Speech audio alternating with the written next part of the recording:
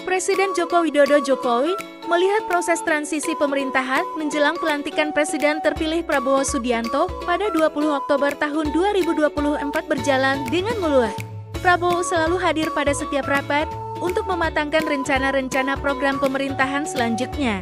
Saya senang, sejak beliau menjadi presiden terpilih, transisinya berjalan dengan baik. Hampir di setiap rapat paripurna, rapat terbatas, apa pun topiknya, Pak Prabowo selalu hadir.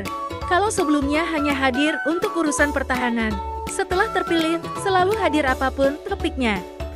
Sehingga rencana-rencana untuk program unggulan betul-betul disiapkan dengan baik, kata Jokowi dalam acara BNI Investor Daily Summit tahun 2024 di GCC, Senayan, Selasa 8 Oktober 2024. Setelah nantinya Prabowo dilantik, Jokowi meyakini Prabowo dan para menteri dalam kabinetnya bisa bekerja dengan cepat melaksanakan program-program yang sudah direncanakan. Kondisinya berbeda ketika Jokowi mulai menjabat sebagai presiden pada tahun 2014. Saya waktu tahun 2014 butuh waktu 1 sampai 1,5 tahun untuk konsolidasi Artinya 1-1,5 tahun waktu kita hilang. Jadi saya senang sekali proses transisi kepemimpinan yang tinggal 12 hari lagi berjalan dengan baik dan mulus, kata Jokowi. Menurut Jokowi, transisi kepemimpinan yang baik sangat penting untuk menjaga optimisme dan stabilitas, baik politik maupun ekonomi.